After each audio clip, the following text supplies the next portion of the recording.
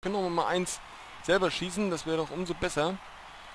Prip motivieren wir, auch einen Jaschwili und natürlich einen Terrazino oder einen Fink eher. So, alles klar, mehr oder weniger. Schauen wir mal, wie es weitergeht. Zweite Halbzeit, noch nicht viel Zeit verlieren. Terrazino wieder mit einer guten Chance, vorne im 16er. Legt zurück auf Christea, aber der vertut sich.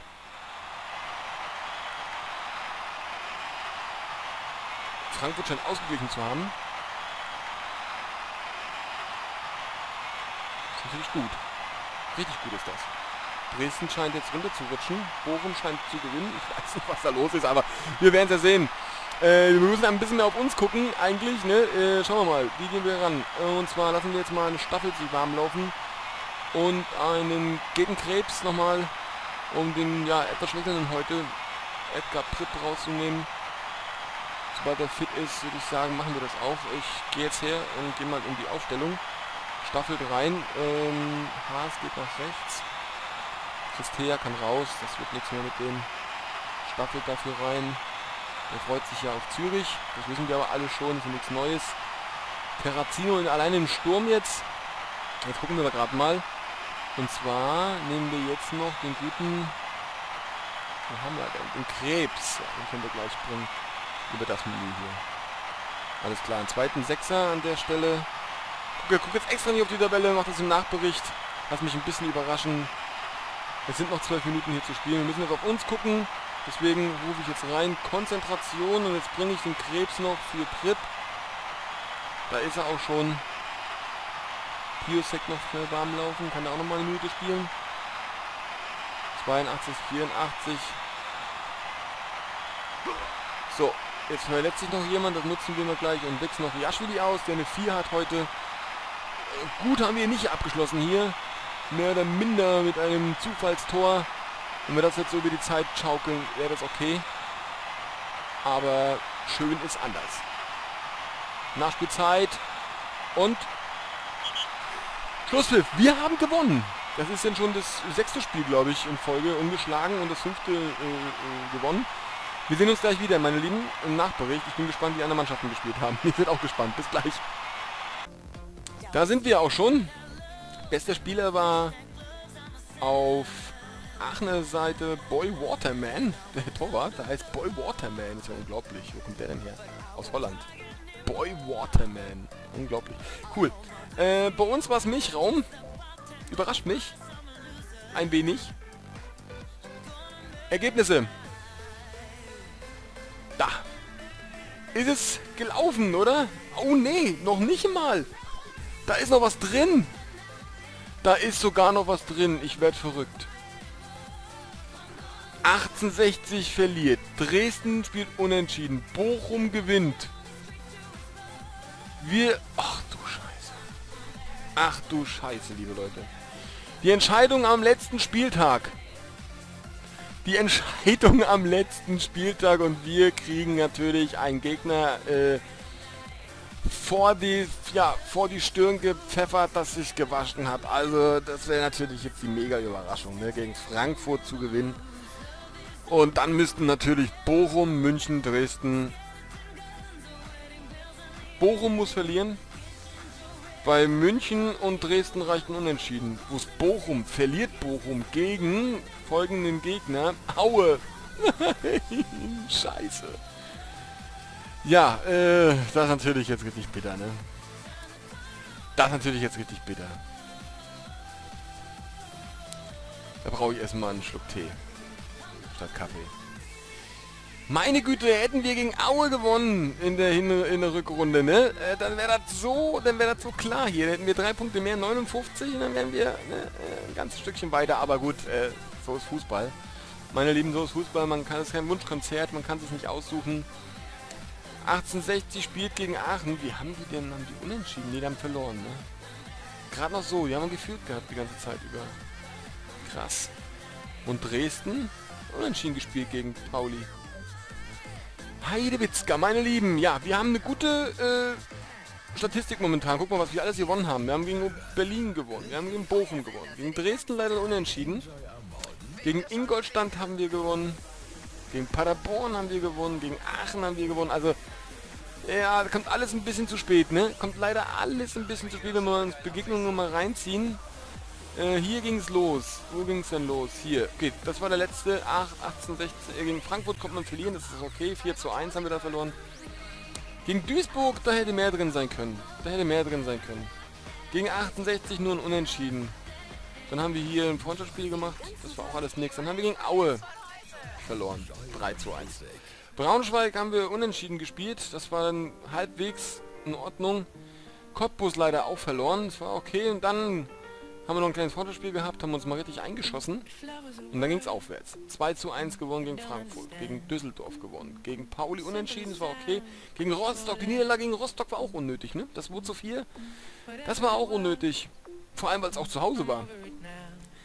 Gegen Fürth dann äh, leider auch, auch eine Niederlage. Das war alles so hier, ne? Das die ganze, die ganze, der ganze Winter war irgendwie mehr oder weniger total äh, versaut und das hat uns dann letztendlich, ja, sag ich, wie soll man sagen, ne? Die,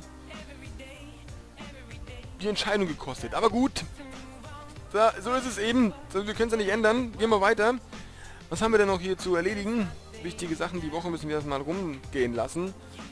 Hier sind schon die ersten Vertragsverhandlungen äh, abgeschlossen, Ablösegeschichten werden hier durchgegeben. Oh, wir kriegen Lamedi verkauft. Das ist natürlich klasse. Klasse. Der Vertrag wird sowieso ausgelaufen. Na, dann weg mit ihm.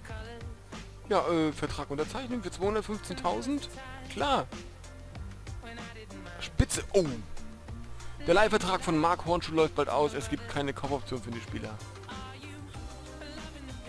Kaufangebot abgeben. Kein Angebot. Oh, 1,5 Millionen. Aber äh, das wäre natürlich ein Spieler ne, mit äh, Potenzial. Also sowas von. Ah, Durchschnittsform 10. Meinung Ihres Assistenten Kevin Schröder sagt, Mark Hornschuh ist einer der Topspieler der Saison. Seine Leistungen waren über den Durchschnitt der Mannschaft. Daher müssen wir diesen Spieler verpflichten. Da gibt es keinen Zweifel. Das stimmt. Er ist 21 Jahre jung. Wisst ihr, wo der hinpeitscht? Der peitscht locker auf.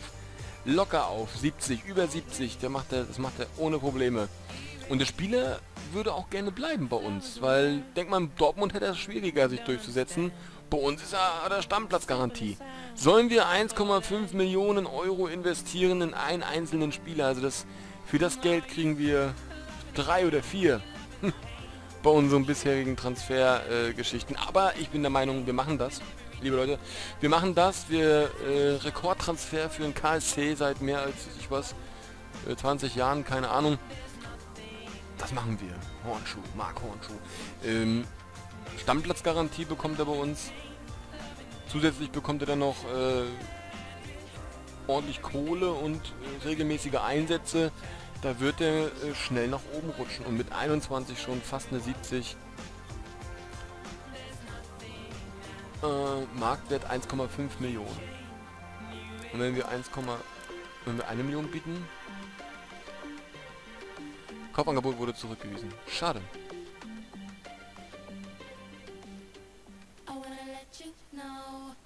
So, das war's leider. Schade. Schade, schade. Naja. Gehört dazu, meine Lieben. Das ist natürlich ein Spieler, den man wirklich schwer halten kann. Eine Million, 1,5 Millionen wird einer sagen, ja Mensch, die 500.000 hätte es auch noch geben können. Klar, hätte man. Hätte wäre wenn nicht, ne? Das ist aber immer so, deswegen, aber er ist, das wäre auch ein Spieler, der auch ein bisschen das Budget sprengen würde. Momentan haben wir ein Transferbudget von 1,1. Das würde jetzt darauf rechnen, das wäre dann wieder ein Minus. Und wir haben schon äh, 2 Millionen Schulden. Woher nehmen, wenn nicht stehlen? Okay. Lamidi wird verkauft, das ist sehr schön. An Neuschattal Schamas. Wie es aussieht. Fortuna Düsseldorf hat Moses Lamidi ein Angebot unterbreitet. Möchten Sie Verhandlungen über einen Vertrag aufnehmen? Nein. Lamidi verzichtet auf eine Option. Er hätte seinen Vertrag verlängern können, der Klappstuhl. Ach, Gott sei Dank hat er das nicht gemacht. Auslaufende Verträge. Auslaufende Verträge haben auch noch ein paar. Klar. 21 Spiele läuft der Vertrag aus. Abgefahren. Ja, hauptsächlich die zweite Mannschaft, ne? Status beim Sponsor ist auch gestiegen durch... Ja, schade. dass wir den nicht kriegen. Können wir da nicht hier nochmal Aktionen? Ne, können wir nicht. Können wir nochmal ausleihen? Sollen wir nochmal ausleihen? Vielleicht können wir uns ein Jahr darauf einfach leisten. Wenn nochmal... Oh Gott. Unsere Moral ist überdurchschnittlich gut. Unsere Form sieht auch richtig gut aus.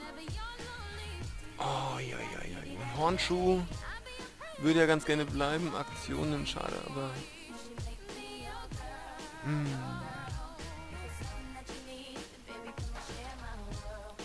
Könnten ihn ja aber... Äh, Spielerinfo, wir könnten ihn aber...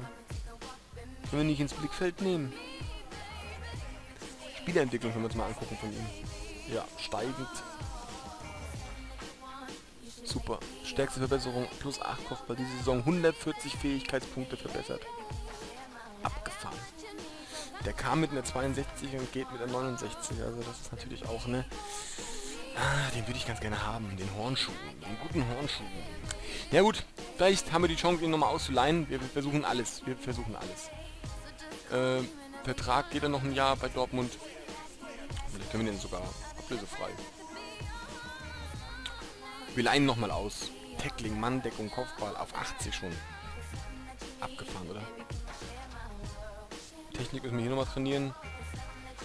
Ah, den hätten wir doch so alle so gerne. Ne? Auch hier bei den geistigen Fähigkeiten richtig gut, ne? Stellungsspiel eine 77, hier hat er auch Konzentration recht hoch, Entschlossenheit, Entscheidung nicht so ganz und Teamwork ist auch so ein bisschen mager bei ihm. Aber das kann man ja nur trainieren, indem man zusammen spielt. Anders funktioniert das nicht. Okay, meine Lieben, da ist natürlich jetzt die Zeit gekommen. Langsam, wir peitschen Richtung Ende. Die große Entscheidung, das große Spiel. Da würde ich dann wahrscheinlich nur mit einer Spitze spielen und nehme den Staffel wieder rein als Defensiven. Als Defensiv... Oh ne, kann der Prip eigentlich nicht. Der Prip kann. Wie der kann. Staffel weg. Staffel weg und Krebs rein. Na, aber sowas von. So. Terrazino in die Mitte. Ja, es ist natürlich jetzt unsere Aufstellung für das Spiel der Spiele beste Mannschaft, die wir haben. 737 Stärke gegen eine Mannschaft, was hat denn das 20 eine Stärke? Sehe ich denn das direkt? Wo sehe ich das direkt? 782, ja, die sind ja schon Bundesliga reif, klar. Ist halt Frankfurt, ne? Dass die abgestiegen sind sowieso, ist, ist sowieso ein äh, Mega-GAU gewesen.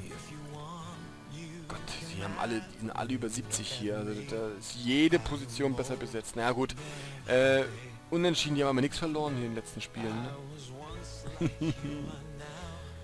Gegen Erzrivalen haben die auch gewonnen, hier gegen 1816. Ja gut, Erzrivale jetzt nicht, aber äh, direkt der... Ach, ist das, ist das ärgerlich, ist das ärgerlich. Sieht so im Kalender aus, das passt alles, ne? Haben wir alles noch am Laufen. Tippitoppi.